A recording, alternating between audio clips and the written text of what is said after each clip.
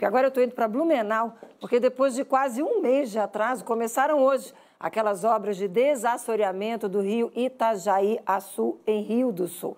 Cláudia Pleite tem as informações para a gente. Fala, Pleite. Muito boa noite para você.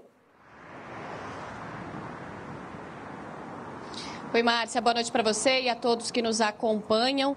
É, olha, a ordem de serviço para que iniciassem essas obras foi assinada no dia 11 de maio e agora no dia 10 de junho, então a gente tem efetivamente o início dessas obras de acordo com a Defesa Civil do Estado de Santa Catarina. Obras essas que devem acontecer num trecho de cerca de 8,2 quilômetros do rio Itajaiaçu, na região central do município de Rio do Sul investimento emergencial de cerca de 16,2 milhões de reais do governo do estado de Santa Catarina para a retirada justamente de terra que desce dos morros, das encostas também, para dentro do rio Itajaiaçu, retirada de materiais que vieram principalmente com as últimas enchentes do final do ano passado e aí sobrecarregaram o rio e aí prejudicaram também o fluxo do rio Itajaiaçu. Essas obras têm um prazo máximo de 180 dias para acontecer de acordo com a ordem ordem de serviço. Então, desde o dia 11 de maio é o prazo de 180 dias,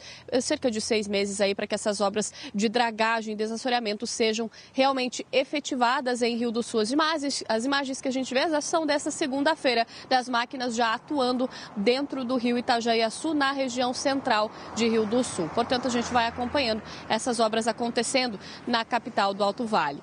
Mas antes de ir embora, a gente traz uma informação também de saúde, porque desde a última atualização, desde o último boletim divulgado pela Diretoria de Vigilância Epidemiológica do Estado de Santa Catarina, o Estado tem apresentado aí um aumento no número de casos da febre do oropuxo, que a gente vem falando é a febre, aquela doença transmitida pelo mosquito maruim.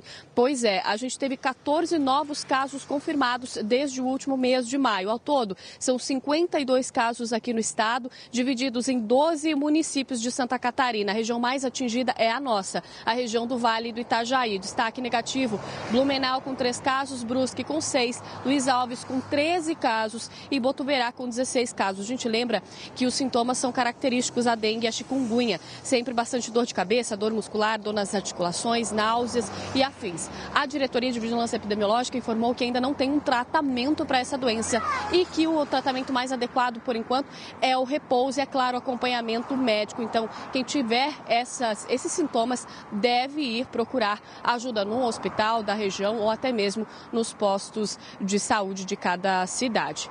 Eu volto com você no estúdio.